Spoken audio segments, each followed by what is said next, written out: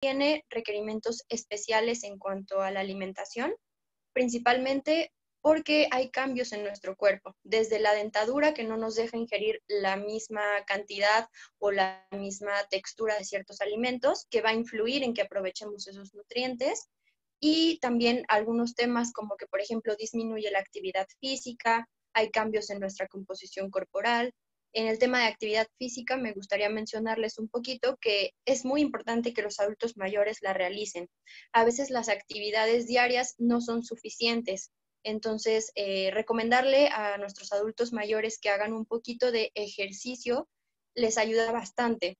Les ayuda desde el punto de vista de que sean eh, más autosuficientes, les ayuda en, en mejorar su composición corporal, o sea, la masa muscular, que tengan un poquito más de fuerza, que sean más ágiles, flexibilidad también. Y esto obviamente se va a lograr haciendo un ejercicio extra a sus actividades diarias el ejercicio que pueden realizar los adultos mayores va enfocado a, como les mencionaba, la flexibilidad y este, mejorar la fuerza. Entonces, podemos tener en casa algunas pesas pequeñitas para que hagan algunas repeticiones de algunos ejercicios o pueden tomar alguna clase de yoga, pueden tomar natación. La verdad es que hoy en día hay un montón de actividades que están diseñadas especialmente para adultos mayores que pueden funcionar bastante bien. Bueno, pues ahora sí, si tienen alguna duda, pueden irlas redactando y las vamos resolviendo poco a poco.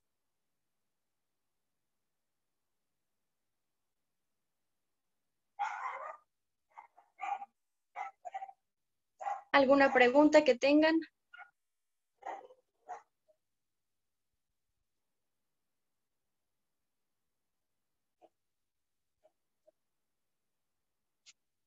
¿No? ¿No hay preguntas? ¿Qué es la sarcopenia? Lo mencioné hace ratito que es un tipo de desnutrición. Es cuando tenemos una masa muscular muy bajita que ya compromete ciertas funciones del cuerpo. Podemos englobarlo con ese término, que ya compromete a lo mejor la movilidad, que somos más propensos a tener ciertas caídas o fracturas. De eso se trata la sarcopenia.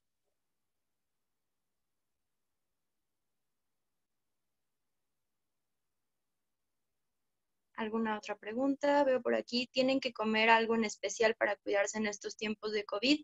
Pues se puede manejar un poquito de inmunonutrición, que sería incrementar el consumo de ciertos alimentos, por ejemplo, alimentos con vitamina C, mejorar obviamente la calidad de las proteínas. Esto creo que no lo mencioné, pero a veces los adultos mayores tienen problema para consumir ciertas proteínas, comen muy poquito. Entonces hay que tratar de buscar ya sea vegetal o animal que puedan tener un aporte adecuado y esto va a mejorar también su sistema inmunológico. Ya de la mano de un nutriólogo se puede valorar el uso de algún suplemento para mejorar su sistema inmunológico. Pero bueno, con los alimentos puede ser eso, integrar más vitamina C.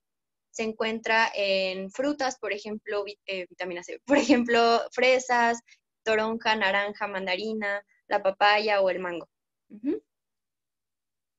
¿Qué alimentos me recomienda para una buena calcificación preventiva? Tengo 51 años. Ok, bueno, pues sí, justamente como lo mencionaba hace ratito, el tema de la descalcificación o perder densidad mineralosa en los huesos empieza justamente como en esta etapa. Entonces es muy importante consumir alimentos que tengan calcio y vitamina D. La principal fuente de calcio y vitamina D son los lácteos, o sea, leche, yogurt y quesos. Si no hay alguna otra patología que impida consumirlos, se pueden consumir estos y exponerse al sol unos 10 minutos diario para mejorar la absorción de estos minerales. Es cierto que deben bajar el consumo de carnes rojas. Pues en general, yo diría que no, solamente si hay alguna alteración, por ejemplo, que tengan problema de ácido úrico elevado, pues sí bajaremos un poquito las carnes rojas. Pero si el adulto mayor lo puede masticar sin ningún problema, pues mejor obtener la proteína animal, que es más, eh, tiene mejor biodisponibilidad. ¿Hay algunos alimentos en específico que tú recomiendes que traigan esos nutrientes que hablas? Sí, por ejemplo, de vitamina C, como les mencionaba, estas frutas. Em, de proteína, pues puede ser de origen animal, como les dije, la carne, pollo, pescado, el huevo también.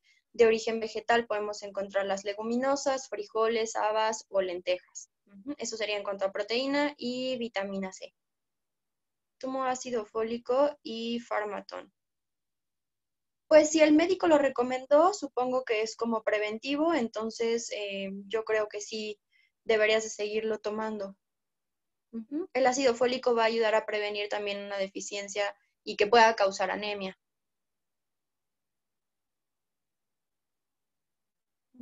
¿Alguna otra pregunta?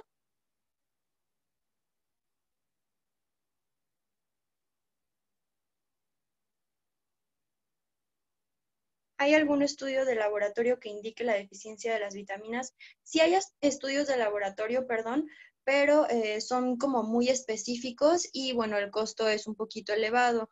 Realmente yo no lo recomendaría si no veo que mi paciente tuviera alguna sintomatología de una deficiencia o, si el médico lo indicara como tal. Realmente como no estoy hablando de una suplementación y realmente solo son los alimentos, pues es mejor integrar más de estos grupos. Alimentos que suban. Ah, ¿cuáles son los estudios? Pues son estudios de sangre, por ejemplo, para la vitamina B12 que se manda con personas que son vegetarianas o veganas. Es un estudio de sangre en donde se miden los niveles de cierta vitamina en sangre para ver si hay una deficiencia alimentos que suban el nivel de calcio o suplementos. Sí, para el calcio, pues integrar más lácteos, leche, yogurt, eh, quesos. Incluso hay algunas bebidas de origen vegetal ahorita, como por ejemplo eh, la bebida de almendras o de coco, que ya las enriquecen con calcio. Entonces, eh, esto se me olvidó mencionarlo, el adulto mayor también generalmente es intolerante a la lactosa por un proceso también normal si no toleran los lácteos, incrementar un poquito más el consumo de estas bebidas que ya vienen enriquecidas con calcio para que no haya ninguna deficiencia. Y el suplemento, pues habría que valorarlo también con un médico y dependiendo si hay algún problema de, osteoporosis, el grado también. ¿Alguna otra pregunta?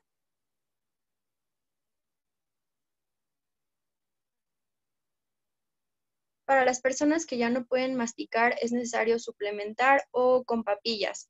Aquí hay que valorar mucho qué tanto pueden masticar, ¿no? Y por qué viene esta dificultad. Como lo mencionaba al inicio de la plática, hay veces que a los adultos mayores les deja de emponar bien su dentadura. Esto puede ser, por ejemplo, por una pérdida de peso y eso pues se puede corregir, ¿no? Simplemente ajustando la dentadura. Si ya es otro tema por el que no puedan masticar, sí hay que modificar la consistencia de los alimentos. Pueden ser papillas, pueden ser puré, pueden ser, hay personas que alcanzan a masticar simplemente con cortarlo en trocitos pequeños, no todo tiene que ser licuado o en papilla. Hay que probar mucho la tolerancia y qué tanto lo pueden masticar. Y claro, obviamente, si es de la mano de un nutriólogo, pues aseguramos que con estas papillas tengan el aporte nutricional que, buscamos incluso con los alimentos eh, completos, ¿no? ¿Algún consejo cuando se estriñen? El consumo de líquidos. También es muy frecuente que los adultos mayores tomen muy poquita agua, entonces hay que tratar de estar insistiendo en que, insistiendo, perdón, en que tomen un poco más de agua simple, quizás con tés, con caldos aumentamos también el consumo de líquidos y esto puede mejorar y si no mejora, pues cambiar el tipo de fibra que se está consumiendo. A veces no siempre funciona consumir solo verduras, sino el tipo de verduras o cómo están cocinadas. Esto ya va más específico y un nutriólogo te puede asesorar un poquito mejor. Si tienen osteopenia y no toleran los lácteos, ¿qué otro alimento recomienda? Sí, justo María Eugenia lo estaba mencionando que este, hay muchas bebidas vegetales, como por ejemplo eh, leche de almendras, de coco, que ya traen el calcio adicionado y también traen vitamina D. Entonces, buscar este tipo de marcas que ya vienen con el calcio para cubrir este requerimiento, porque es muy frecuente que no toleren los lácteos también los adultos mayores. Y bueno, esta parte de exponerse al sol también es súper importante, unos 10 minutitos que tomen el sol para que se fije bien la vitamina D en sus huesos. ¿Recomiendas algo para estimular apetito en adultos mayores? Pues más bien yo jugaría primero con el tamaño de las porciones, ver qué alimentos tienen los nutrientes que necesita y las calorías necesarias, a lo mejor en poquito volumen, y con eso quizás se pueda cubrir su requerimiento.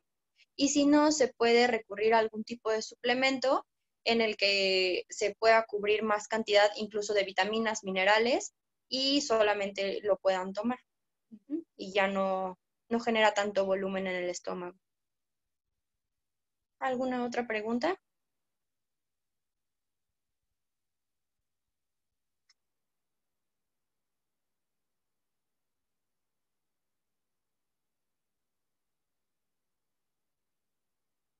¿No?